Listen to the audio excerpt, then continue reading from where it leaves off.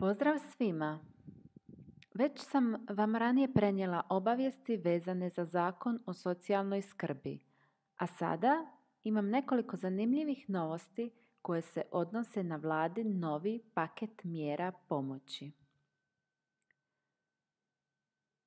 Povezano s već ranije spomenutim pravom, svih korisnika prava na osobnu invalidninu da predaju u Centru za socijalnu skrb zahtjev za mjesečnu subvenciju troškova struje u iznosu od 200 kuna,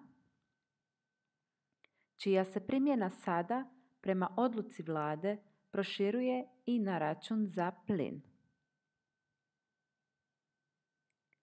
Dakle, svi korisnici osobne invalidnine mogu u svom centru za socijalnu skrb predati i zahtjev za takozvanog ugroženog kupca energenata, te dobiti subvenciju za mjesečne troškove plina i struje u iznosu od ukupno 400 kuna zbog trenutačne situacije poskupljenja. Druga novost se odnosi na već poznato poskupljenje i ubrzani rast cijena, a koje niska primanja ne mogu pratiti, zbog čega je vlada odlučila doskočiti problemu na način da smanji stope PDV-a. Znate da je PDV za sve bio 25%, no sada će se na neke osnovne potrepštine on smanjiti na 5%. Na primjer, hrana, meso, riba, jaja, voće, povrće i drugi mliječni proizvodi kao maslac.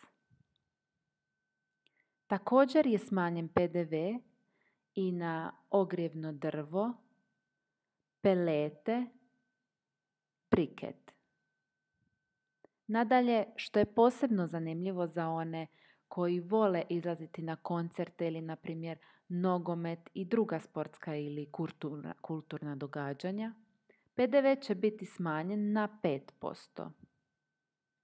Na higijenske potrepštine za žene, higijenski ulošci i tamponi, bit će smanjen s 25% na 13% stope PDV-a. Želim samo upozoriti sve da to što je vlada smanjila stope PDV-a ne znači automatski i smanjenje cijena.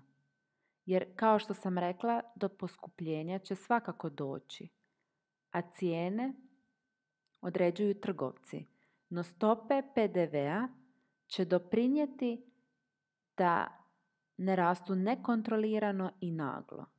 Svakako treba biti oprezan s novcem i štedjeti. Na posljedku mislim da će ova vijest razveseliti puno gluhoslijepih osoba koje su već umirovljene. Sjećate se kako su svi umirovljenici prošle godine dobili COVID dodatak na mirovine? Ove godine će svi umirovljenici ponovno dobiti jednokratnu pomoć ovisno o visini mirovine. Tako će oni umirovljenici s mirovinama do 1500 kuna dobiti 1200 kuna jednokratno. Oni s mirovinama između 1500 i 2000 kuna dobit će 900 kuna. Za mirovine između 2000 i 3000 kuna dodatak će iznositi 600 kuna, a za mirovinu od 3000 do 4000 kuna bit će 400 kuna. Na kraju želim napomenuti kako se ove mjere ne primjenjuju odmah, već će biti u primjeni od 1. travnja. Stoga pazite i zapamtite jer će tek tada biti isplate ovih naknada. Hvala vam.